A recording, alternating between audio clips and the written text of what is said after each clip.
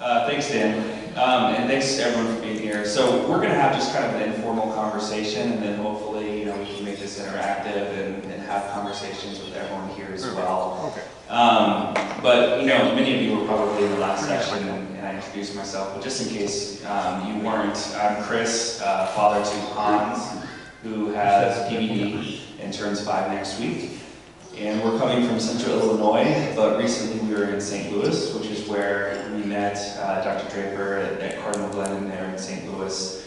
Um, so we wanted to just kind of have a little conversation about palliative care, um, and particularly kind of, I'm you know happy to share some of our experiences with palliative care, um, and then with, with the hope being that you know maybe those of you who have not established care with palliative care um, yet, you know, this might be something that, you know, leads you to have that conversation with your, your specialist or your pediatrician.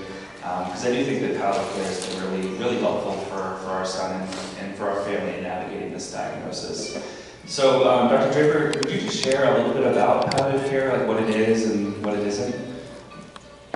Um, you know, pediatric palliative care is um, often, uh, oftentimes in the adult world, palliative care is synonymous with hospice and end-of-life care. And that definition often extends to pediatric providers. So that is definitely a portion of what we do. But I think that the bigger circle of what pediatric palliative care is, is this extra layer of support for families with life-threatening or life-limiting conditions, is how we kind of define it. So when we say like, who can get a referral to palliative care, that's how we think about it at our hospital. And then we think about it in terms of what does that child and what does that family need from a supportive standpoint. Sometimes that is very medically focused as far as supportive care, as far as symptoms like pain, nausea. Some of it's because our treatments cause it. Sometimes it's because of the disease process itself. So we can think about it from that standpoint. But then we also think about it and how do we tie all these individual strings together. You know how many specialists you have in your children's life. You know how many medical providers, phone numbers to call. Who is who's the next person to call? So I think about somebody that kind of tries to tie all that up, but ties it up in context of your child and your family. Um, it's forming a relationship for whatever trajectory your child may be on, is to have that relationship basis to say what's most important. What's most important for Hans and his parents and his sister as we make big decisions as they come up. Even if we can't anticipate what those decisions are, then, but we still have a context to help make them. Or if we can anticipate what decisions may be coming, having that conversation before they're right in front of us, so it doesn't feel so emergent. Yeah, and just to share a little bit about our journey with, with palliative care. So, so Hans was diagnosed at, uh, at three months old. Um, but, you know, in the first, I would say, year to 18 months of his life, there wasn't a whole lot medically going on. I mean, once we got the diagnosis and we were connected with the GFPD, um, we really knew a lot of the specialists to establish care with, you know, to be proactive to the extent possible. Um, and so we were setting up all these specialists, and it was becoming more and more difficult to kind of coordinate all of that and manage all of the appointments and, and things like that. Um, and when we were at Cardinal Glennon, they had a, a, complex care clinic, which many of you know the institutions where you're at might have that. So we, we established, you know, we, sort of became a part of that complex care clinic, and they really helped with the coordination and um, kind of the behind the scenes, you know, and then coming together every three or six months to kind of have, you know, a holistic view of like Hans right now.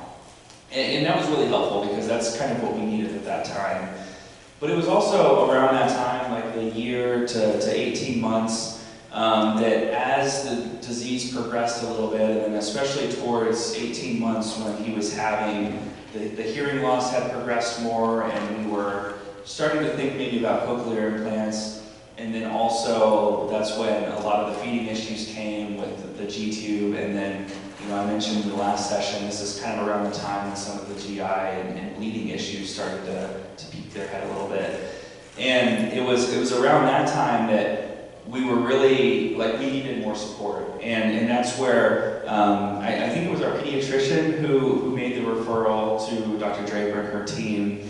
And they really, you know, I, I remember, you know, one of the first kind of conversations about Hans that we had was thinking about the cochlear implant, and um, we had gotten a, um, I think it was a, a head CT done to kind of look, you know, from a surgical perspective, and, and they realized that Hans had some abnormal craniofacial anatomy that would have made the surgery a little bit more complicated, a little bit longer. And then that combined with some of the bleeding concerns that were showing up, um, you know, the idea to, to implant didn't, wasn't so clear cut. And I remember kind of, you know, Rachel and I, and, you know, talking with, with Dr. Draper and her team, and um, you know, that was kind of one of those first sort of big picture conversations we had. And, and since that time, you know, palliative care has really helped us kind of, you know, take in all of the, the very particular conversations and questions that, that we're engaging with our specialists about, but then always like zooming out and taking in the full picture. And, and not just the picture of, of Hans, but really the picture of our family as well. Um, I don't know if you have any, you know, It's kind of interesting, we think about um, physicians being very good at having honest conversations, and it is a skill set to be learned. It's not always going to come naturally to physicians. And Dr. Labarge, their pediatrician, said, "I I think you need to meet this family. First, you're going to love them, and second, I think they need you." And at the same, like kind of simultaneously, the ENT surgeon came to me, he's like, I just, I don't know, I, I'm afraid that he could die if we did this, or maybe this infection, da. I'm like, well, have you told him? And he's like, no, and I was like, well, probably we need to start with that. Um, and just helping, sometimes a palliative care's role is really in the background to try to see what are, what are our risks of this, what is, what are our next steps, and then how do we put that in terms for the family? Because, you know, Rachel, you play piano, and that's what you told me. You're like, this is what I love to do for Hans, and this is what calms him. So we had to weigh, we weigh risk and benefits differently with our children um, in, in all of these different contextual features, and you can't make decisions as a parent if you don't have all the information. So sometimes it's palliative care's role really to make sure all that information is distilled down to make, to make sure that it gets to you so that you can make the best choice for your family. And then you're supported in that choice. Because I also have found that a lot of parents feel like if they don't make the choice that that specialist is recommending, that it's like, well, fine, whatever, you didn't follow what we needed. And it may not be what's right for you and your family. So I think having that support, whichever path you go down, is really. Yeah, I think along those lines, you know, um, I also see from, from an advocacy standpoint, palliative care has been really helpful. Um, and, and again, sometimes it's advocating kind of behind the scenes. Um, and I think, I think back to when Hans's GI bleeds first started, and um, before we had placed the port, whenever we were talking about placing the port, and uh, we were inpatient, and he was on the, the GI team because of the. And it was a, it was, it was a doctor who I don't think had seen Hans before, um, but just kind of, you know, looking over the chart and everything, and, and there was kind of a, a conversation that he initiated around, okay, so you're interested in doing a port, but you understand that we probably can't fix the cause of bleeding. And it was sort of implied like, okay, like, is this really the path you want to go down? And, and I think palliative care really kind of helped us um, advocate, like, you know, again, thinking back to like the risks and benefits, you know, like, let's, let's give him the blood transfusions if, if he's doing well with them, and if, and, and again, knock on, you know, knock on wood, Hans has handled them well. Um, but, but again, I think that, you know, as, as many of you probably have in, in your own experiences, I think sometimes, you know, someone might look at a diagnosis like a PBD, and there are certain, um, certain assumptions about what life will look like or has to look like, and it's difficult to kind of think outside of that box. And, and I think that Dr. Draper and her team, they've, they've always really helped us have the mindset, and, and more importantly, our, our providers, our other care team have the mindset that, that Hans is really writing his own story, and we're sort of taking the lead from him. Um, and, and, and, it, and it does require that ongoing relationship because the disease is progressive and circumstances do change. Um, but by developing that relationship with, with Dr. Draper and her team early, we've kind of been able to, to have those big picture conversations throughout um, and, and acknowledging when, when goals might change, you know. I think it's really important to think about what palliative care is not. Um, we also are not, oh, we're doing palliative care, we're not doing other therapies. Like, first of all, palliative care is therapy. You know, we're gonna treat these symptoms, we're gonna, you know, offer this level of support, but it doesn't exclude all of the other aggressive or not aggressive measures that may be right for your child. And I think that's a big fear of a lot of families, of if we, we don't want to give a signal that we don't want all of the things offered, or, you know, we want to still have that decision-making for our families. And even on hospice, we have families that still choose relatively aggressive supportive care measures of children that are on hospice. So it doesn't, um, and some of that, from an advocacy standpoint, is to continue to advocate for the ability to provide concurrent care on Medicaid or in Medicaid, is that we, if we can provide the therapies, like blood transfusions and things like that, and still provide hospice, if that's, if that time comes, it's really important to be able to provide that concurrent care and allow families to have the support early on and not exclude whether it's a clinical trial or it's aggressive therapies. All of those things are still on the table, and I think that's a big fear to exclude. And I would even say with Hans's journey, we had at times been, you know, worried that the trajectory was going to be different than it has been, and then he does rise. He surprises us every single day. Um, and I love that. And I love that we can have some really serious conversations and think the next few months may look different. And then he, you know, he, he surprises us as something different. And then we, we change up what we're doing um, based on what he needs.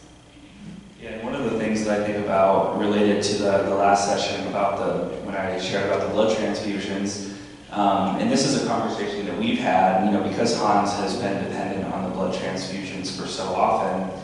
And, you know, there were times in that year or 18 months where he was needing it weekly, sometimes a little bit more than weekly, sometimes five days. And I remember having conversations with, with Dr. Draper and her team about, okay, so, so, you know, okay, we wish it wasn't every week, but, you know, we got this. But, uh, I mean, a blood transfusion, it's, it's a day out in the clinic, and, and, and Hans, because of his, the chronic anemia, because he was dropping so quickly, he was really lethargic and sleepy, sort of in between. So we, we, we had those conversations about, okay, what if, what if it goes from a week to five days, and then to three days, and then every other, day? like, like where, where is that, where is that line? Is there a line?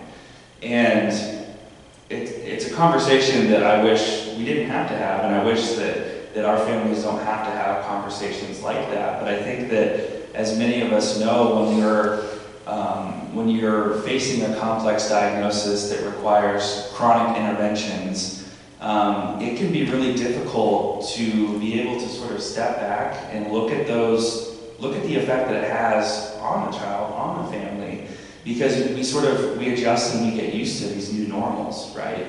Um, but I do think that it's really important to always keep, you know, our kids and, and our, our loved ones who are affected by this diagnosis to keep them in, in, in the forefront of mind. And, um, and it's, it's, it's helpful to have a team um, like Dr. Draper or her team or, or a specialist like a palliative care specialist because as a parent, it's really difficult to initiate and to have those conversations because we don't want to think about that. We want to think about doing everything.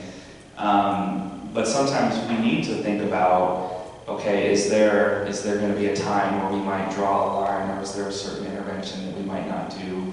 Um, and I think about some of the code status conversations we've had um, with Dr. Draper and her team around when Hans was having um, really difficult, when we had difficulty handling his seizures and he was having a lot of central apnea and we had um, a few scares with, with rescue meds and EMS and, and having conversations about like what, what do we do if he just doesn't start breathing again on his own? Do we do chest compressions? Do we, you know, or do or don't we? And and for us, our answer to that has changed over time, as, as I think many of you all can can appreciate and understand. And um, it's been helpful to have the conversation with the same the, the same team, you know, rather than starting that new with another team.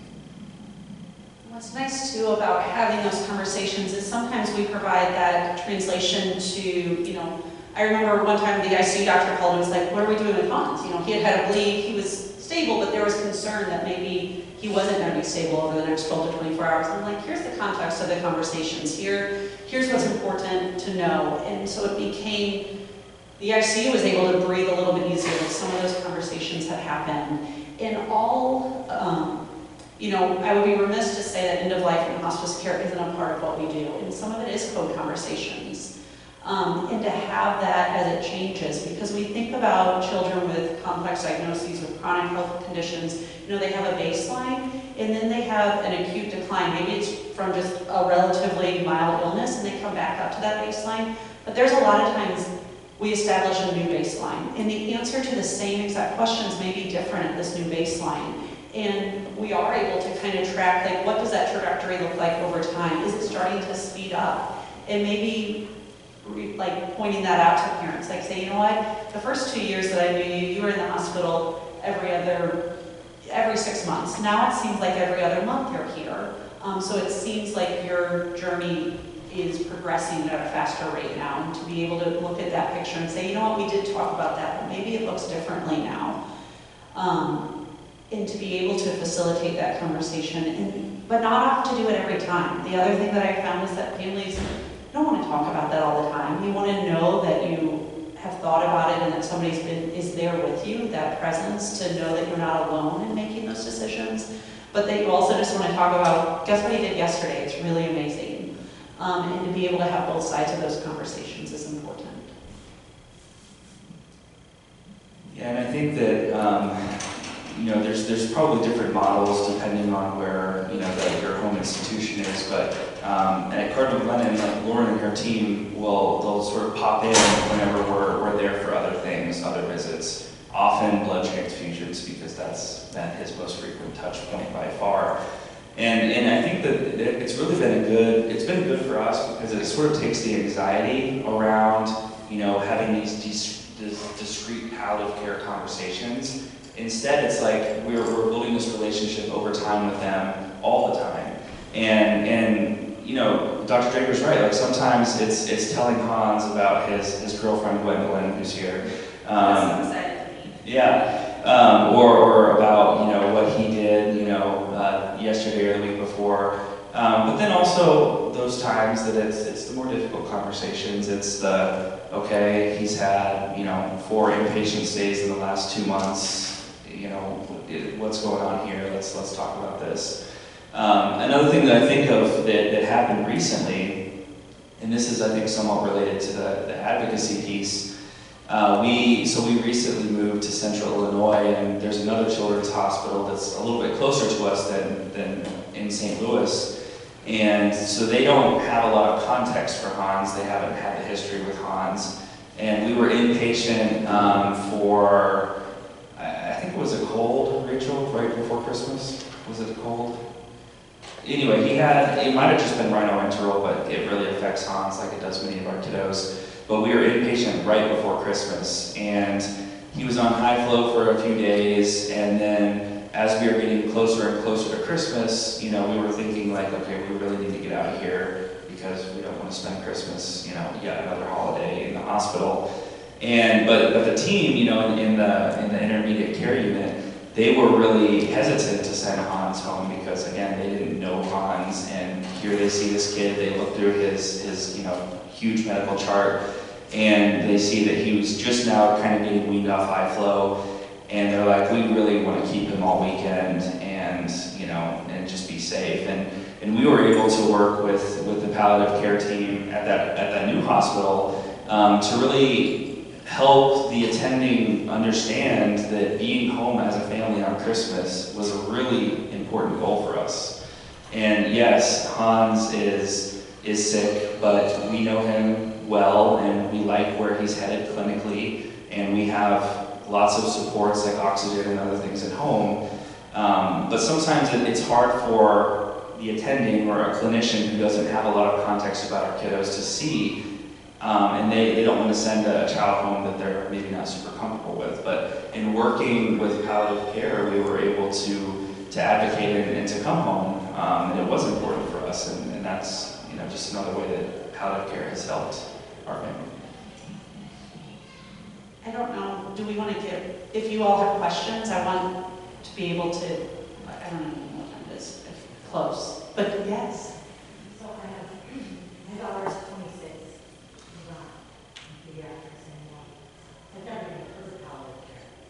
So this is, I just read it just the first time. I mean, is that something that I should be asking for? Um, I think so. I think any, um, any child, young adult that has a chronic, life-threatening, life-limiting condition would benefit from palliative care team. It is a little bit different access as far as from an adult side versus a pediatric side. She primarily followed at an adult institution now. Well, she is, I mean, there are certain things that they've done, like pediatric audiology, and, um, you know, I tried, I was, I tried to get them to put her back in, you know, she stayed with pediatrics, but it's really hard, only because of the pediatric event. Seems like the pediatricians, you know, more, or more willing to to work with her than, you know, people, with my, Right. not really, or kind of pain management, or just any kind of work like that.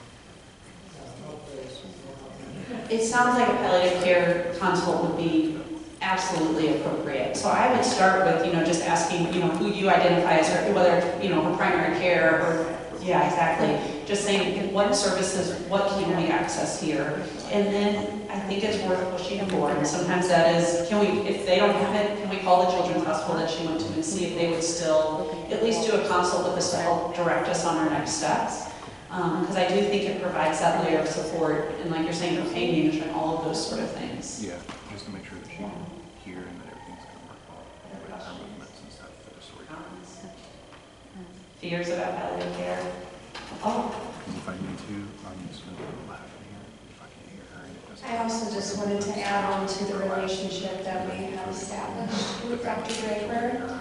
So whenever I- we've gone to a lot of these meetups and conferences, so you're I would have aware. parents telling me, well, we got our diagnosis, but the doctor said, oh, well, they're gonna die within the next year, so what do you want to do? And to me, that's just very shocking that they would say things like that.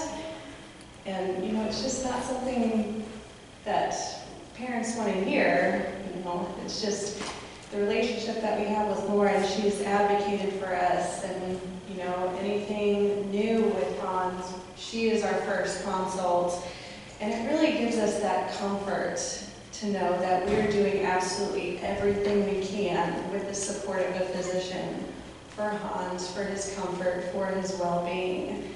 And so we are very strong advocates for palliative care just because we have seen how amazing it's been for Hans and for our family and for our happiness. And we just think that everybody, everybody needs palliative care.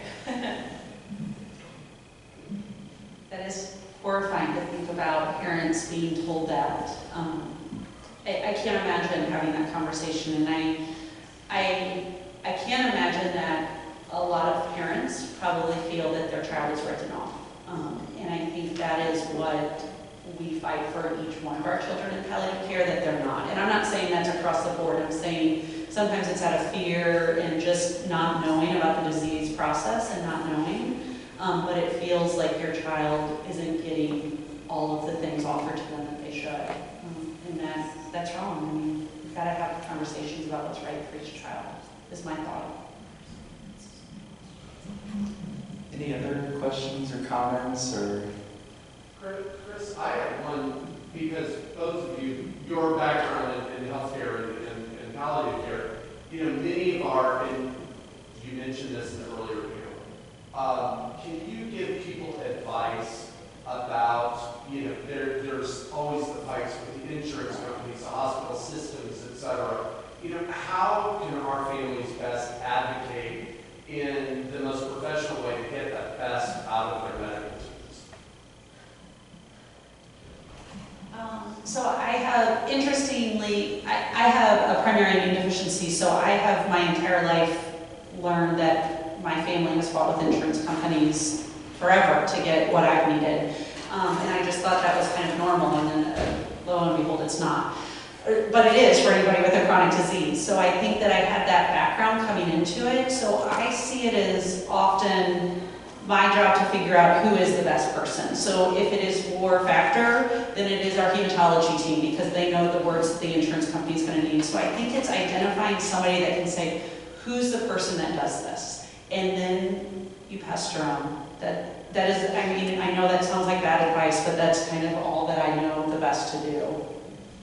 Yeah, and I'll say that, you know, I think that, again, with palliative care, kind of with the, the focus being the whole person and really the whole family, that's where, you know, as particular issues come up where you're trying to get a particular medication or a certain test or a certain therapy, palliative care can sort of be that point of entry where they, if they can't help specifically, they can help advocate on the inside to get it done. Um, because that is the hardest thing, like, as, as you all know, I mean, just navigating the health system is, is very difficult, and, and insurance and, and all of that, and as if we don't have other things on our plate already, the last thing we want to do is, is argue with a bill or uh, something not being covered. Um, so I think that it really does, it is important to have those advocates sort of inside the system, you know, on your care team that care about your child and your family. Um, and for us, that's very much been palliative care. And, and I know, you know, for those who, who do or don't have palliative care, it might be a different subspecialist or maybe it's their primary care uh, clinician. But I think just having that, that person that you just go to first is really, really important and really helpful um, because it's something we can't do on our own. So they can donate it out. Um, I was just gonna say that I feel like you're a huge tool for the physicians too, because I, I found with my son, you know, when we take Brian to appointments, oftentimes the physicians are like, well, you need this next, and you need, you know, you need an MRI of the brain. It's like, we don't, you know, do we really need that? For what? What is this gonna do for us? What is this gonna tell us that we don't already know? And I feel like what I'm hearing here too is that like, maybe you can have that conversation with the physician saying like, no, we don't need it, you know, and, and what is, what is the end game for this? One hundred percent. Um, that sometimes we are lovers of information, um, that doesn't necessarily, um, get us anything else, but it is a procedure, it's a sedation, it's all of these sort of things that have to be weighed, or, or do you really need it now? They're gonna be sedated for a scope in three months, why don't we try to combine it with that? And just to get creative about, if it's something that we need, then absolutely, we find the safest way to get it, but we do, I, I think we force providers to think about the questions they're asking and the things they're prescribing a little bit differently in context of the whole person instead of um, one area. And, and not always. I think that pediatric providers are very good about thinking about, or they want to be, they want to be very child focused, and we try to have medical homes for children. But it is new, and not everybody's great at it. So um, I think we can do better. Any other questions or comments? All right, well, thank you, Dr. Draper, for your time and, and for you all for